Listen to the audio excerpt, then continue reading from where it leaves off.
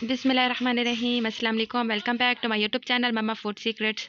आज की इस वीडियो में मैं आप लोगों के साथ शेयर कर रही हूँ चिकन की रेसिपी, चिकन और आलू की रेसिपी, जो कि बहुत ज़्यादा कम टाइम में बहुत जल्दी जल्दी बन के रेडी हो जाती है। तो गाय जिसे बनाना कोई मुश्किल काम नहीं है। वीडियो को स्किप नहीं कीजिएगा और अगर मेरे चैनल पर नए हैं तो चैनल को सब्सक्राइब कर दे, साथ ही बेल का आइकन ज़रूर प्रेस करें ताकि मेरी हर नई आने वाली वीडियो का नोटिफिकेशन सबसे पहले आप लोगों को मिल सके। सो गाइस इसे बनाना सच में बहुत ईजी है और तकरीबन पाँच मिनट में ये बन के रेडी हो जाती है। तो फाइनली आप देख सकते हैं, यह पक चुका है अब मैं इसे एक मट्टी के, बाउल में, मट्टी के प्याले में डाल रही हूँ। आप अपनी मर्ज़ी से इसे किसी भी सर्विंग डिश में सर्व कर सकते हैं। तो बिना टाइम वेस्ट किए, आइए इसे बनाना शुरू करते हैं। सबसे पहले क्या करना है कि एक दरमियाने साइज़ की प्याज ली है मैंने और उसे मैंने बारीक चॉप कर लिया था। अब इसके अंदर मैं हरा धनिया हरी मिर्च, लहसुन, अदरक का पेस्ट ऐड कर रही हूँ और फिर इसे अच्छे तरीके से मैं मिक्स कर लूँगी।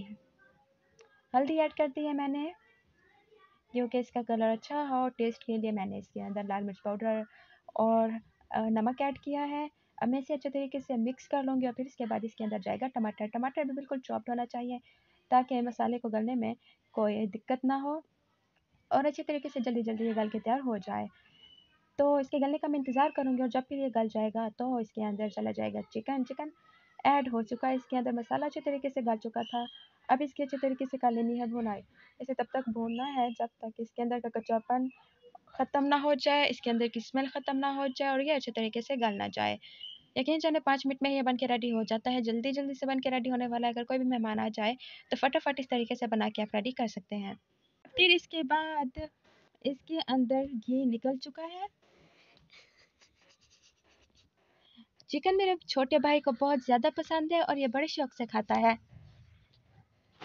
यकीन जाने मेरा छोटा भाई बहुत ज़्यादा क्यूट है। माशाल्लाह से सारे घर की जान है वो। अच्छा तो चिकन तकरीबन बन के रेडी हो चुका है। अब इसके अंदर आलू जाएगा। आलू भी मेरे भाई को बहुत पसंद है। वो आलू फ्राइड बड़े शौक से खाता है। आप ही की जान। तो अब इसे अच्छे तरीके से गला लेंगे हम।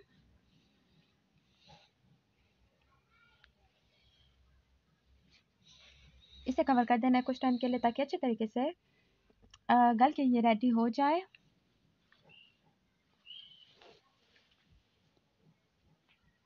आप देख सकते हैं इसके अंदर ये निकलना शुरू हो चुका है। इसका मतलब ये बिल्कुल पक के रेडी हो चुका है। अब इसके अंदर मैंने गरम मसाला ऐड कर दिया है। गरम मसाला किसी भी चीज़ में ऐड करने से उसका टेस्ट फिफ्टी परसेंट इंक्रीज हो जाता है।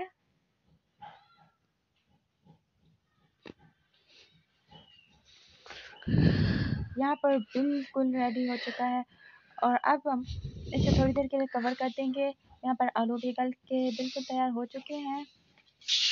और फिर इसके अंदर थोड़ा सा पानी जितना आप इसे पतला रखना चाहें, उतना रख सकते हैं। मैंने इसके अंदर थोड़ा सा पानी ऐड किया है और फिर मैं इसे कवर कर दूँगी। पानी में बॉयल आ चुका है और फाइनली बन के रेडी हो चुका है। अब इसके अंदर हरा धनिया जाएगा।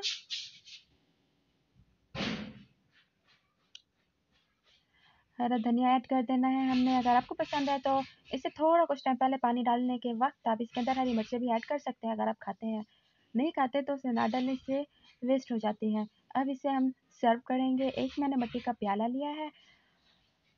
इसे एंड तक देखिएगा। आपको पता होना चाहिए कि सर्व कैसे किया जाता है।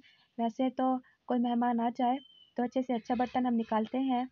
यकीन जाने अगर आप उन्हें मट्टी के प्याले में देंगे तो उनका दिल खुश हो जाएगा।